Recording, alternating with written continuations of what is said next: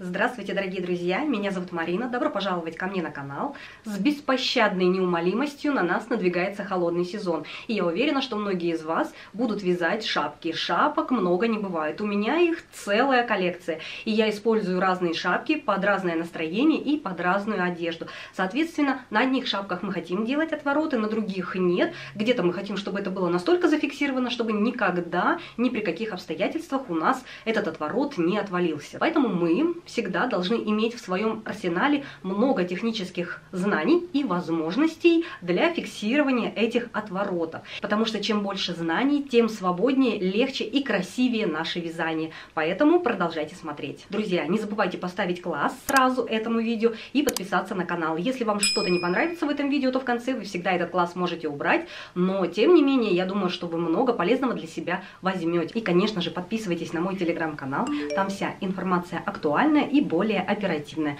А сейчас пойдемте учиться вязать фиксированные отвороты. Сегодня я предлагаю вам три разных способа, как провязать место сгиба у шапки так, чтобы у нас постоянно это место было на одном месте и тем самым, чтобы отворот у нас был зафиксированный.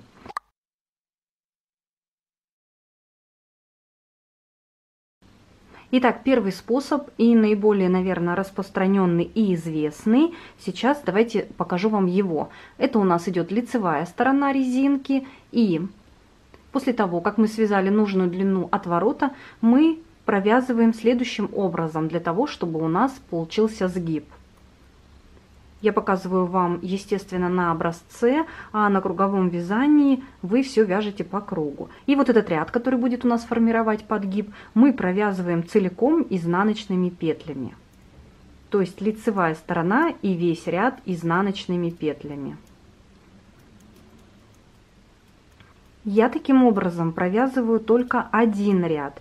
Некоторые любят провязать два ряда изнаночными петлями. Я считаю, что достаточно одного. И вот мы провязали наш разделяющий ряд. Если вы вяжете по кругу, то, соответственно, дальше вы продолжаете вязание резинки один на один, ну, как у меня здесь в примере, да.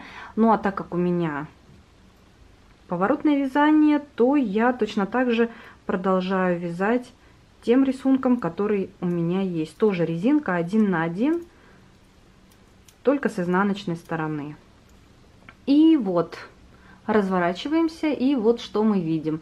Вот у нас получился наш ряд, который будет фиксировать наш подгиб в одном месте. Сейчас я провяжу точно такую же длину резиночки, чтобы это было более наглядно. При таком способе у нас подворот складывается в сторону лицевых петель. Вот видите, у меня по изнанке здесь получился ряд лицевых, и вот он именно вот так будет складываться. А вот эти ребрышки изнаночных петель, они будут вот таким образом выступать. Вот что у меня получилось в итоге. Вот таким образом у нас будет выглядеть место сгиба. Вот так. На мой взгляд, одного ряда изнаночных петель достаточно, потому что все это выглядит гораздо аккуратнее, чем два ряда. Но это на вкус. Попробуйте и так, и так, и сами решите, что именно вас устраивает. Итак, это первый способ.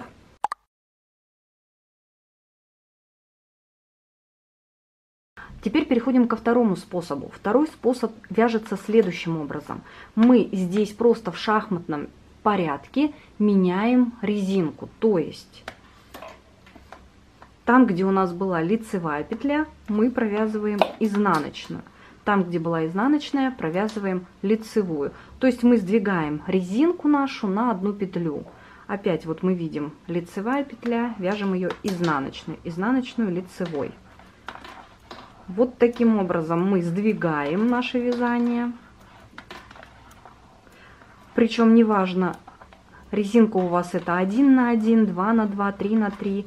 Если у вас резинка, например, 2 лицевые, 2 изнаночные, то, соответственно, там, где были лицевые, вы провязываете 2 изнаночные, там, где были изнаночные, вы провязываете лицевые. То есть нам просто нужно сдвинуть, то есть нам просто нужно сдвинуть наши петли и продолжать вязать вот таким сдвинутым образом. Вот, я провязала ряд, видите? я сдвинула все петли, а дальше я уже буду придерживаться вот этого рисунка, то есть вот этого сдвинутого нашего шага. Если вы вяжете по кругу, то теперь вы вяжете именно вот таким узором, который у вас здесь был. То есть теперь у меня это изнаночная лицевая. А так как у меня поворотное вязание, то я просто смотрю по рисунку на предыдущий ряд и тоже вяжу изнаночная, лицевая, изнаночная, лицевая и таким образом до конца ряда. Вот, посмотрите, вот что у нас получается. Здесь у нас получается вот эта линия, которая разделяет этот наш сдвиг в шахматном порядке, да, и за счет этого очень хорошо у нас получается место сгиба, и оно хорошо фиксируется. Сейчас я точно так же провяжу такую же длину для того, чтобы было более наглядно. То есть, понимаете, да, мы сейчас повторяем уже вот этот наш новый сдвинутый рисунок. И неважно, здесь одна петля у вас изнаночная или две. Если у вас здесь было две лицевые, две изнаночные, то вы точно так же на это количество петель сдвигаете ваш рисунок. Там, где были лицевые, вяжем 2 изнаночные, там, где были изнаночные, вяжем 2 лицевые. Точно так же и 3, 4, 5, в общем, неважно какой именно узор резинки у вас вяжется. И вот смотрите, что у нас получается в итоге. Вот здесь мы с вами поменяли в шахматном порядке наши петли. И именно по этому месту у нас очень хорошо происходит сгибание полотна. То есть место сгиба фиксируется, оно само по себе буквально хочет тут свернуться. По изнаночной стороне тоже все остается зафиксировано. И вот такой у нас получается отворот.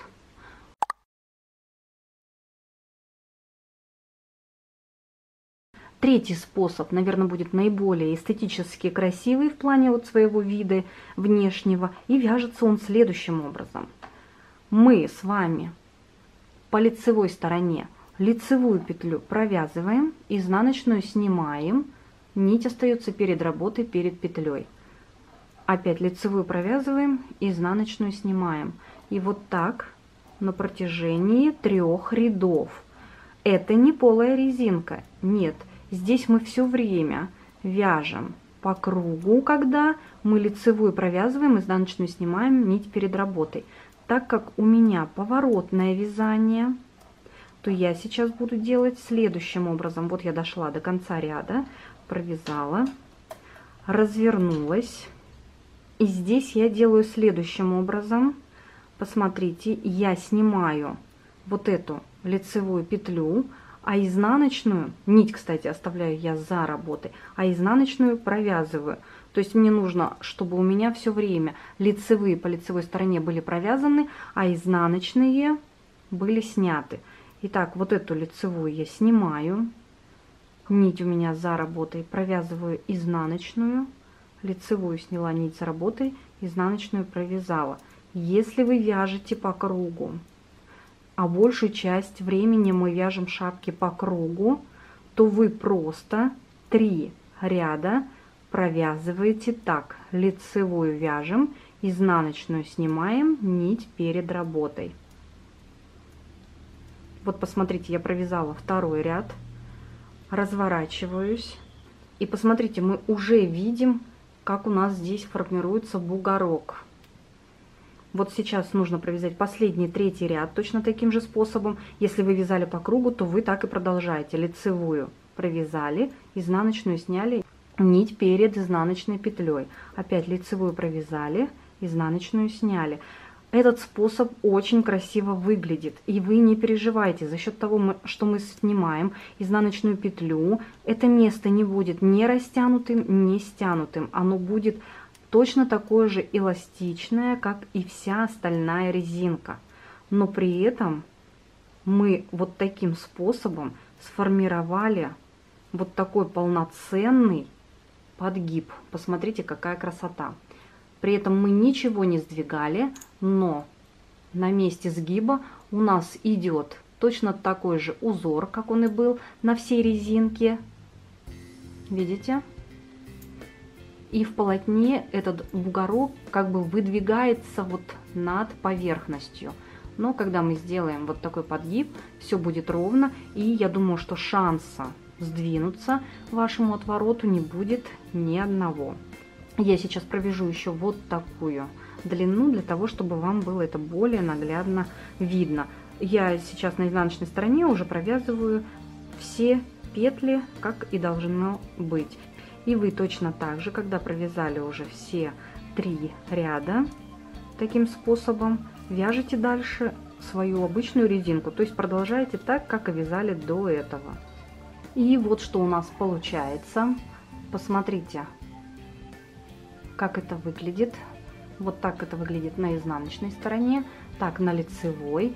Получается вот такой бугорок, который фиксирует наш отворот в положенном ему месте, вот это место сгиба, да. И при этом здесь рисунок не ломается, а перетекает из одной поверхности в другую.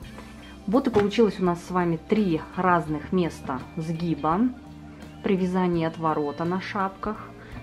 Естественно, такие способы можно использовать и в разных других ситуациях. Обязательно пробуйте все эти способы и пишите, какой из них вам понравился. Или, возможно, вы все их уже знали и какой-то из этих способов часто используете в своих изделиях. Обязательно пишите тоже, какой именно способ. Ну что ж, дорогие друзья, на этом я буду заканчивать. Желаю вам быть всегда в тепле и чтобы ваши изделия выглядели аккуратными и красивыми. Всего доброго, до встречи, пока-пока-пока.